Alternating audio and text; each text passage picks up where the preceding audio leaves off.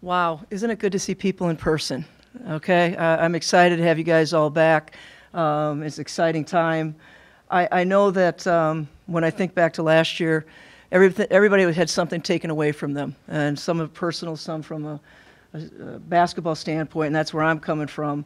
Uh, you know, when something's taken away, and I think with chemistry and and getting to know your team, and having all the rules that we had last year, uh, it made me very intentional this summer uh, to try to make sure I got my team with the same vision, goals, team chemistry, and we worked at it. We just did not assume it. Um, we did a lot of activities, whether it was on the court, off the court, to try to build our team chemistry and our foundation.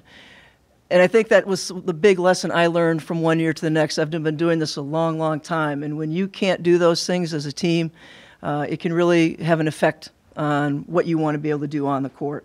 So it was a very intentional foundation. We did a lot of things. We've developed a strong sisterhood that we feel is uncommon.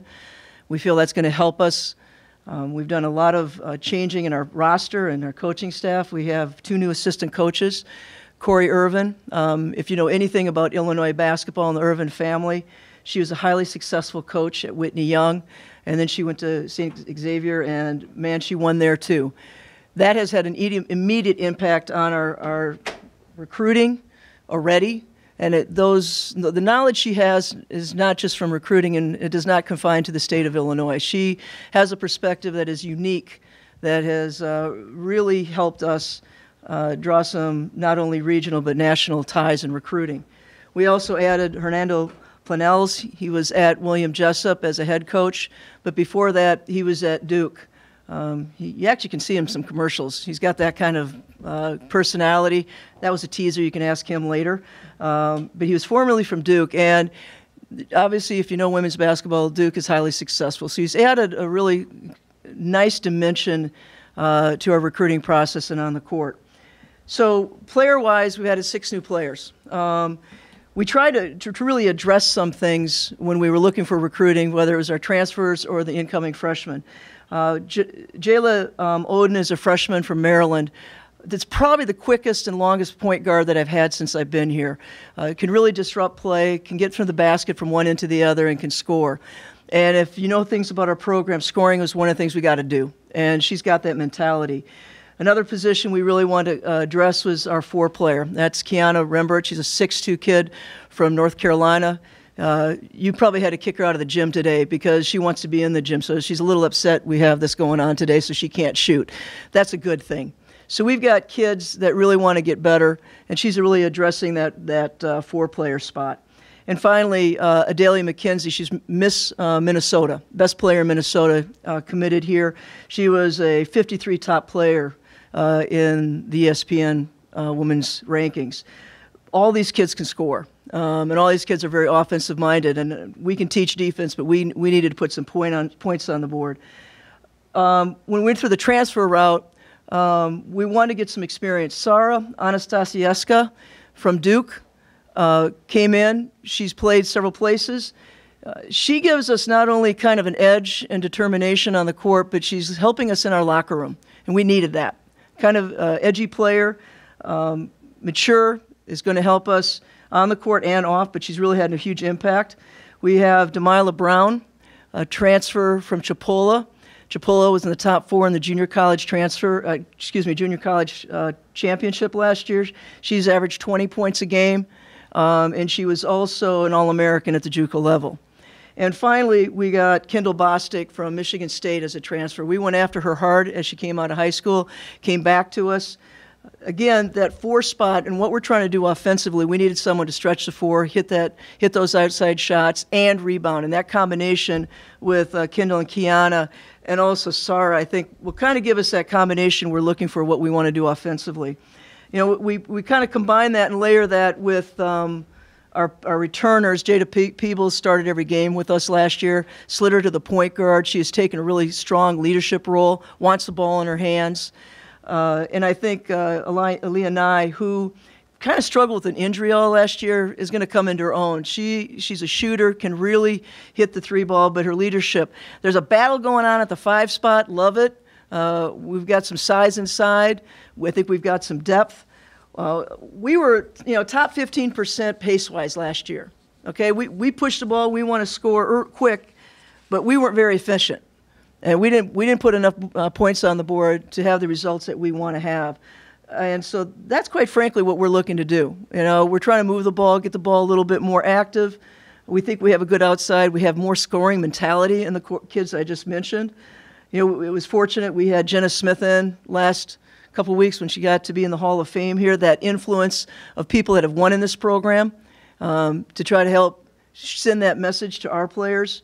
And I, and I think the thing is, what we're trying to develop is an attitude of know the difference between working, working really hard, which I think this team has always done. They've worked hard, but they've got to learn to compete every day. Winning is hard, and winning is going to be really hard in the Big Ten, we know that. But you have to embrace winning is hard, and that's what we're trying to do. With three teams ranked in the top 10 in the country, with Maryland at four, Indiana and Iowa at eight and nine, and nobody leaves. You know, everybody knows nobody leaves because of the COVID year. I'm okay with that because we've got to change. We're excited about that. But every coach you talk to right now is excited. Man, practice is great. We're looking, you know, everybody. I, I told my players today, it's not about starting this. It's about the day to day and stacking, stacking days, stacking every practice, stacking what we do. Can we get a little bit better than we did yesterday? And if we if we kind of embrace that process, um, this, the winning will take care of itself. So with that rundown, I'll take any questions anybody might have. Yes, sir. You mentioned, the, you mentioned the fact that you wanted to improve your offense. It's early in the season, you know, with shooting. Have you seen that so far? Yeah, there's been a concerted effort. These kids are in the gym a lot more. You know, even what I really love with the oven construction going on and the cooperation between the men's and women's basketball program, they're finding times to get in the court because they're organized. Uh, so that's one. Uh, you know, we have abilities to track how many shots they're taking, and they're doing that. And quite frankly, we're, we're putting a half hour of our first part of our practice to just, just shooting, just making sure we're doing uh, game style, game type sh- shots. And when we do drills right now, um, and we look over at the board and see how many points we're scoring, uh, it's better. And that's what we got to see. I mean, you, you can do all you want, but if you don't see the scoreboard light up, that's our problem. And I think we're starting to solve that. Hey, Nancy, um, it's two years in a row where you've had assistant turnover and some turnover on the roster with transfers out, and I know that's part of today. But what are the challenges of that as a head coach as you try to set a foundation and, and build upon it? You know, I think when assistants leave and they're going to, you know, both got associate positions, you know, you pat them on the back because if you want to hire assistants that never want to get better, then you probably shouldn't be in that position because I look for people that, that want to do that. So on the, the coaching side, I, you know, it's bringing in people – uh, that equally want that. So um, it's a great place to work, but what it does is, uh, I think that the same thing that we were working on chemistry wise as a team, you have to work on with your staff. Uh, and I think we got really, really lucky. Corey and Hernando, I, I, I, hope you take a chance to get to meet these two because they're, they're special personalities and really addition. Uh, the second part, welcome to college basketball now. Okay, if, I mean, we all know it, players may leave, like people, uh, people can play a lot and it's just the nature. And you know, people say, "How do I feel about it?" I said, "I feel like that's what the world we're in. Accept it, move on, let's go." I think as a coach, how you play your game in the sense of you better not be so complicated every year because you can, if you want people to come in and have immediate impact, player movement, ball movement, simplicity, so that they can adapt quicker. I think is going to be a bigger question for us than, "Oh my gosh." You know, I think there was a lot of oh my, oh my goshes, and I'm like, well, you're gonna have to oh my gosh, I think for a while. That's just just where we are in, in college basketball. Yes. Oh, hey, coach. Um, I hope saying Ava. Is, is her name Ava? Eva. Eva. Um, she seems to be so, I guess, mature with everything that she does off the court and on the court. So, from a leadership standpoint, what does that mean to your program to have someone who's very secure with who she is and what she represents beyond basketball. One of our goals, and I've kept it pretty tight with, we call it uh, 94 plus two. Uh, to be an elite athlete, to be an elite team, you have to give the extra plus. Okay, if you want to run 94 feet and that's it, you're, you're going to be a 94 team. If you want to be a plus two, then you got to do things outside of that. That's where, for example, what you said, Eva, she's a plus two in the sense of like she, she's part of our community. She's part of what we want to do on campus. She's active.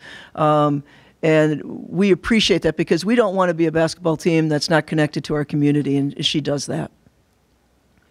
Yeah, Scott. Hi, Nancy. Uh, it sounds like you're almost trying to do a culture reset a little bit, if that's a fair characterization. And how have how has your team responded so far to what you were talking about? Not only working hard, but competing you know, and aiming for the win? It's culture appreciation. That's, you know, uh, because I, I think we always wanted to do it, but it's just simply when you could not do it. Uh, It really put me in a place, I, I, you know, he said 30, I've been doing this for 40 years. And I've never had a year where I could not get my teams together and do the things that I want. Were we doing the right thing for the safety of our players? 100%. Would we do it again? Yes. But when it's again, it's when, you, when it's taken away, we just really spent time. I spent time. I reevaluated. It's just not the kids because if it doesn't come from me, they're not going to understand that. I reevaluated where I was, where I wanted to do, um, and then we built it from there. And you'll hear things like 94 plus 2. You hear things about our sisterhood. You hear things about our values. Um, it was just more intentional, Scott. Um, and sometimes maybe that's what has to happen. Something has to happen, and it happened. And I, I do, do I want that to happen again? But I learned a lot from that. So it's, it's more an appreciation for what that means to a team. Any other questions for Coach Fahey? Oh, here we go. Nancy, when you have a seventh year player who will turn 24 in, in January, what are her goals and what was that conversation like to bring her into the program? If you know Sarah, it was extremely fun. Um, they give her a little hard time every once in a while, uh, call her grandma, you know, um, but uh, what's fun about it is that she embraces it. Do you know what I mean? And it's it's a fun uh, part of her. Um, I know we were recruiting the other day, and we had a younger player on campus, and she was, Coach, you know how much older I am than her? And I said, just hang with it, okay? She wants to be a coach. Um, that's her aspiration. So I think this is leading to, to that future. So it fits well for her. Nancy, obviously, uh, this has been a tough job for people um, the last, uh, you know, decade here. What have you learned in your time here about what it takes to get this right, and, and, and gives you confidence moving forward? uh, what I've learned. Um, I, I've learned make sure when you recruit, you recruit you. you my, my staff knows who I want, okay? What kind of player I want. I think that's an incredible, important piece and what we're trying to look. Recruiting is huge. The thing I learned is to make sure um, that we've expanded our recruiting and understand the value of that. I, you know, I've said to somebody, I said, I didn't suddenly become a bad guy. I, I won a lot of ball games. I And some, some, now I, I'm a bad coach. Well, I, I don't think I'm a bad coach. But I think that parts of those puzzles, it's a lot more puzzles you have to put together. And one of those puzzles is making sure your recruiting base is the type of, and I say, there's a lot of good kids out there, but they don't have to play for me. Does that mean you got to find the right kid that plays what your style and what you're looking for? And we're just much more pointed about that. Uh, and, and getting the people around you, the, the, the staff around you, uh, the support that Josh has given us. I mean, it keeps building. And to, to make it at this level, yeah, and I've, I've learned that. Um, and don't forget yourself don't forget yourself. You, you get caught up in the pressure. I mean, look at this room, okay? The pressure of, hey, you know, gotta win, gotta, you know what we gotta do? We gotta get better.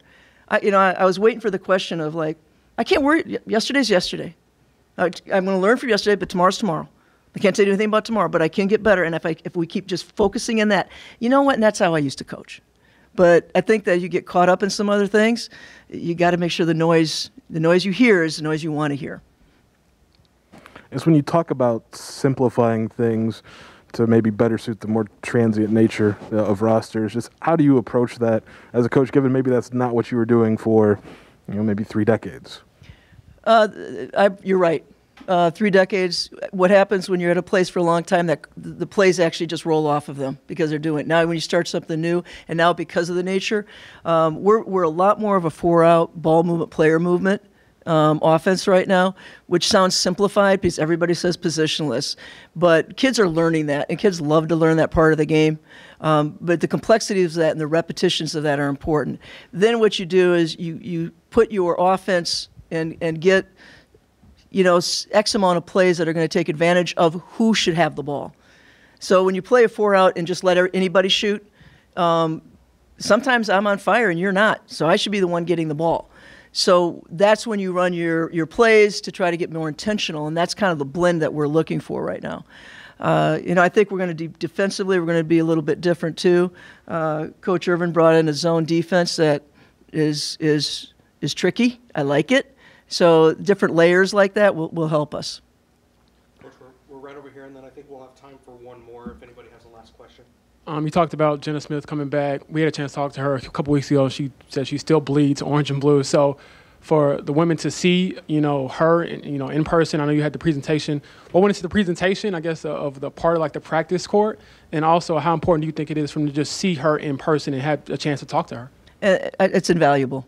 Um, it's invaluable. It's invaluable to have our alumni come back, especially during those years. It's 25 years since the last Big Ten championship.